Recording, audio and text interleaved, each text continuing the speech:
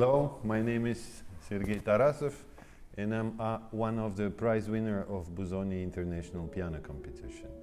I'd like to wish all my best for all candidates from Korea uh, to participate in this very famous and high level of competition. Uh, I suppose in this very difficult time of pandemia of corona, we all need support and help uh, and I wish you the best of luck.